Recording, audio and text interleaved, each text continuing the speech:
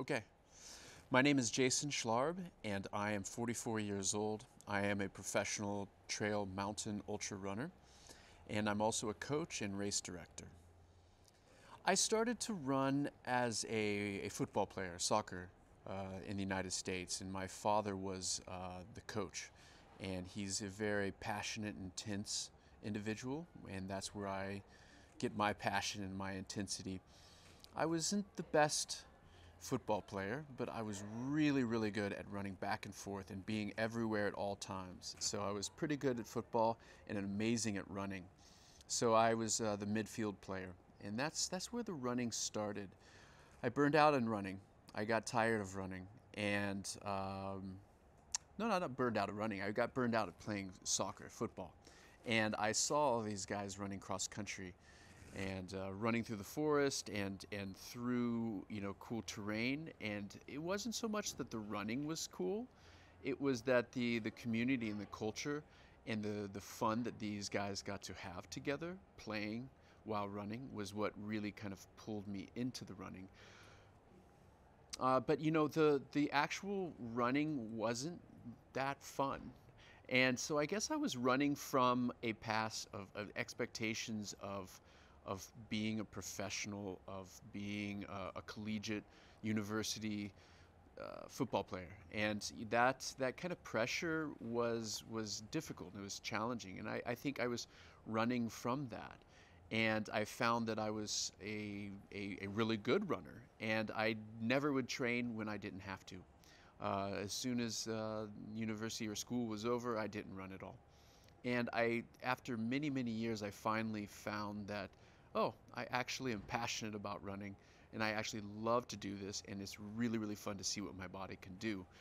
But uh, to, to start, it was running away from expectations and it was pressure and it was, uh, you know, even my father's expectations. And then it, that's, that's, that's how it started. And that's what I was running from, I guess. I have I have profound ideas. I have uh, solutions to problems. I also have, you know, I can also dwell on people that have uh, wronged me. I, I, I, have, I dwell also on, you know, things that I want.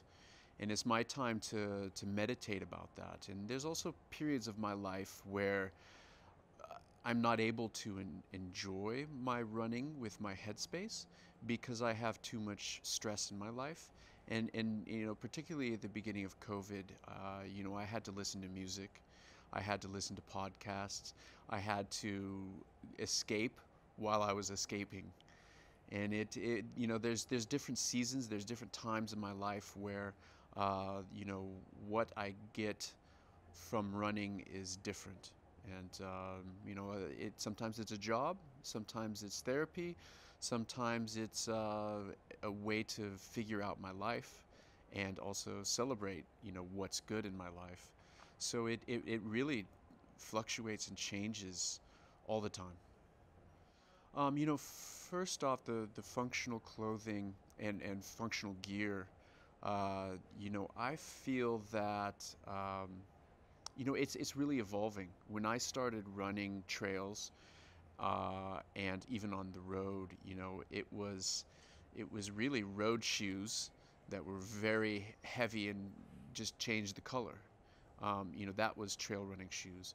Uh, gear was basically fanny packs that kind of held water bottles.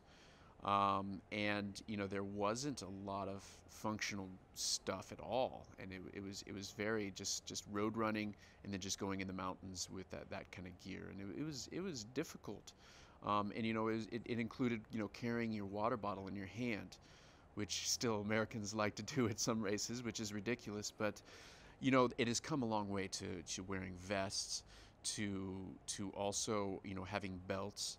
Um, you know, you know, I've been involved with a project with with uh, Ultimate Direction to to create functional clothing, and you know, with a waist belt that's attached to the shorts, so that it doesn't you know move around, it doesn't twist, it doesn't do all these kind of things. But I can carry my phone, my water bottle, my gels, my nutrition.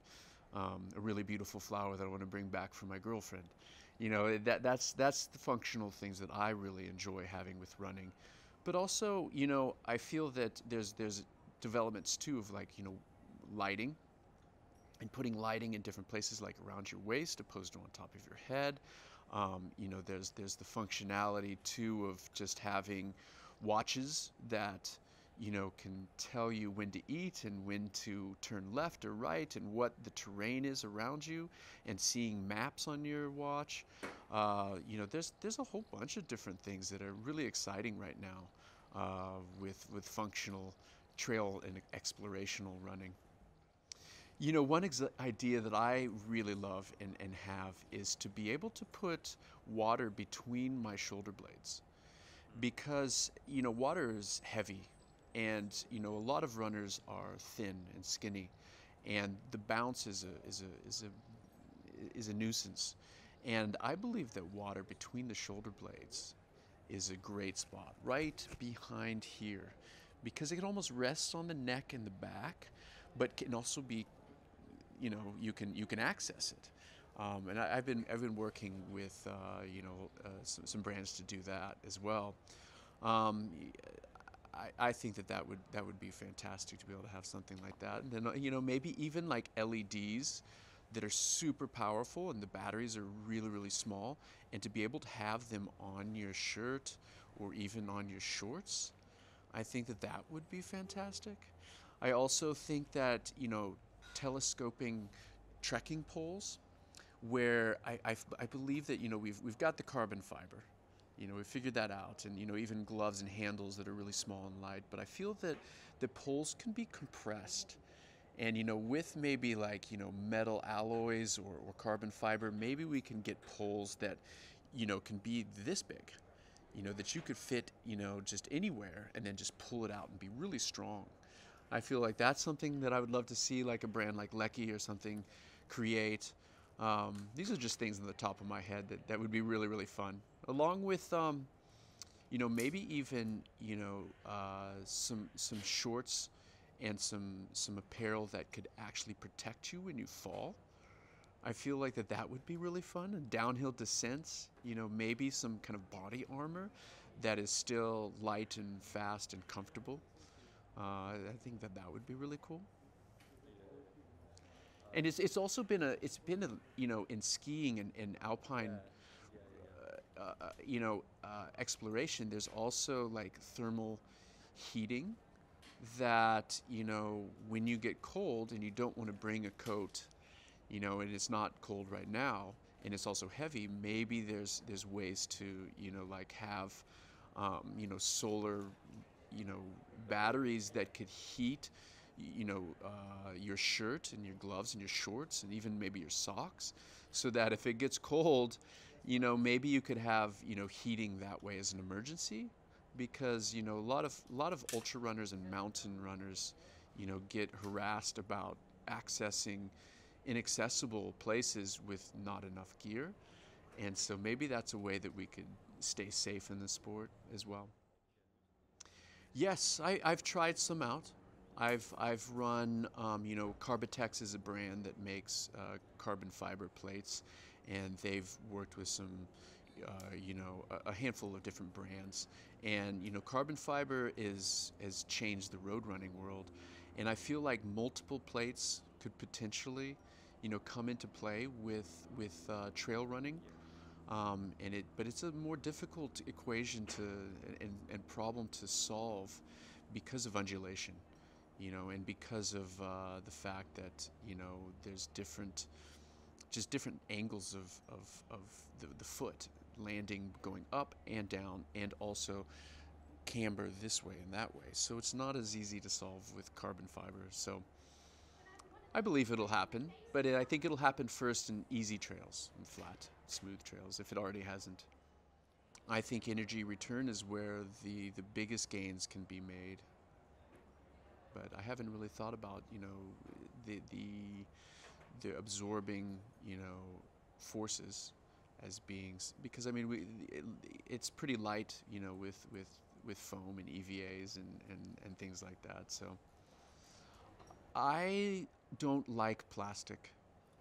I don't like plastic because for a number of different reasons. You know, it's non-renewable, and we just have too much plastic, and it's causing all kinds of problems. And everybody knows this story.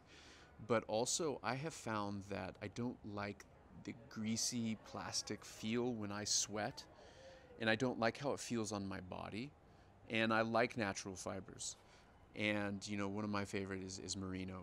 Uh, you know, even this shirt right here has a merino polyester blend that, that keeps it feeling nice and comfortable and soft without being stinky, without being greasy, without like, you know, after a month or two of wearing it, kind of like stinking all the time. Like, so I like those natural fibers, and I am curious what's next for, for material science for outwear that will be less plastic and more comfortable and good feeling. I do. I do like cotton. I like the feel of it. Um, you know, it's just the matter of kind of that sag. Same thing with merino. So I feel like you know blends of cottons are kind of a little bit easier, but it's it's also a great renewable you know resource too, and so it's it's nice. But I haven't done too much straight cotton running. UTMB has been a goal for a few years for me. Um, you know, being a professional runner for, for 10 years now, you know, I've been on the podium. I've been fourth.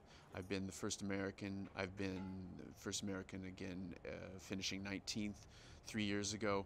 Um, but I had a skiing accident and I tore my ACL and my meniscus uh, last March, so a year and a half ago. And UTMB has been for over a year now the kind of end state, the goal. I'm going to be ready to run like I could before the injury. And also, I want to be as fast or faster than I was when I was younger, you know, when I ran it in 2014, which is now eight years ago. And so, this has been the culmination of both getting over injury and then also doing everything I can to be 44 years old and still be in the top 10 you know that that has been a goal. And you know it's a goal but it's also been the the driving force. It's been my purpose. It has been what motivates me. And it's you know i have been been able to accomplish so much both mentally and emotionally and then also physically where i can now be at that level and then also get over something that was very very difficult you know, at over 40 and tearing your ACL and being a professional athlete, it's a very difficult thing. And so this is truly now, even if I if I tripped and didn't start and, and broke my leg tomorrow, I have been successful at getting to a level of fitness and confidence and, and building from that of having six weeks where I couldn't even put weight on my leg and had to use crutches to running 200 Ks this summer and uh, being able to train in a way that like I used to when um, you know I won Hardrock or Run Rabbit Run three times. So this is this is now a celebration. This is this is a special special treat, and even if I don't make my goal of top 10, I will have won. You know, a couple days ago, Ludovic Pommeret, a Frenchman, uh, who's 46 or 47 years old, won TDS, which is one of the three major ultra marathons. I feel like even more so than OCC. Um, CCC, TDS, and UTMB are all unbelievably competitive for many years. And Ludovic won by an hour, and he's 46 years old. So I'm motivated by his performance, and I know that I can be in the top 10 if I am smart and I use all the skills and the lessons and all the things that I've done, along with my natural talent and the ability to be one of the best in the world for over a decade at the Long Mountain Ultra Marathon. And I can put that all together tomorrow and uh, be in the top 10. But who knows? That's why we do it. You know, my, my good friend, uh, the first time I ran UTMB, I was uh, in fourth place with 10 kilometers to go. And right behind me is a Lithuanian guy named Gediminas Grinius. And I could see him. And to, to have somebody that close in a 170 kilometer race is very scary. Uh, that was the beginning of our relationship. and I've gone to China twice with him. I've gone to Oman. I've raced uh, in in in uh, you know three different continents with this guy. I've done films with this guy. He is my competition, and he also injured his knee last year. Um, so he is one of my best friends, maybe my best friend in ultramarathon running, and he will be there tomorrow, and he's in good shape. So I will pay attention quite a bit to him. And, you know, besides that, nobody else in the race besides myself matters. I can't control them, and it only brings stress. And I know exactly how to run my race, and so nobody else truly matters. So, besides my, my best friend, I, I don't care. The craziest race is, is hard to say because I've had a few crazy races, truly crazy races. And these races were in places in, in, in, that really didn't have too much liability kind of uh, laws and regulations. And it was, it was races that in Europe or in North America and in, a number of other places and countries wouldn't be allowed. It was a race, it was point to point through the, uh, the Chinese uh, mountains near the Himalayas, on the, on the Him Himalayan plateau. And it went up to, you know, 5,000 meters. And we ran, you know, I think somewhere around 20K above 4,000 meters. There was snow that fell and it was almost shin deep. And running at that altitude, um, was outrageous. And I live at two and a half thousand meters, and I have a, you know, that's, that's very, very high, and I'm suited for that. But it was really, really scary. And there was, you know, it was a big race. You know, there was over a few hundred people at the race, and they actually ended up canceling the race after the third finisher because it was snowing. And it was absolutely scary and dangerous. I've also run in Oman over 3,000 meter peaks in places that had basically climbing straight up mountains with reflective markers at 70 kilometers into a race. It, it is the race doesn't happen anymore, but that's not the reason. But it was just almost negligent you know, it was it was it was dangerous. It was dangerous. In Ushuaia, at the you know the southern tip of South America, you know the the, the, the takeoff point to go see Antarctica.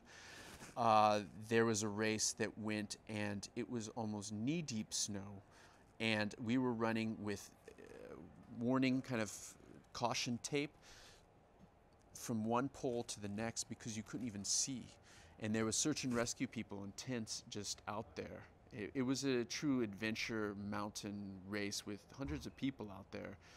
You know, almost, you know, if something happened and you fell, you might be lost and freeze to death. So I've had a, a handful of very, I've, I've gone out of my way to go to these races. They are my favorite kind of races, but um, a lot of them are ridiculous. You know, at this point, my running goal is to keep running and keep being competitive and being the most competitive for my age as well. Uh, but also, it, it, has transformed into giving. I'm now a race director at three different races uh, Run Beyond Racing uh, in, in, Colorado, the Fall Classic in Texas, another race, Sky, Sky Island, and, and then a race in Colorado in Buena Vista. I also coach over 20 athletes.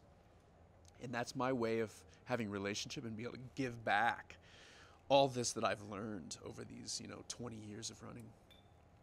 So that's that's that's really special, and that's more of my focus now in my future. My favorite place is is actually where I live in the San Juan Mountains, and it's my favorite because it's wilderness. It's not developed, and there's a lot of wildlife, and it's also very wet, and there's beautiful rivers and lakes and big trees and it's also high. It's at 4,000 meters, and uh, you know there's big peaks there, 14,000 foot, yeah, 4,000 meter peaks, and uh, I live at two and a thousand meters in, in a cabin, and that's that's my home, and that's my favorite.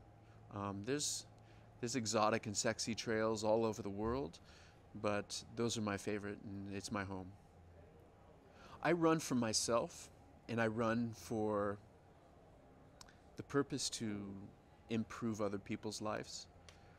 I I am motivated by the fact that I can influence others to be active, to be athletic, to be healthy, to explore the wild places that is, our world has, um, and to to not forget that we are wild animals of this planet, that we are not, uh, you know, meant to just hide in, in human-made infrastructure, um, and to actually explore and see all that the Earth has.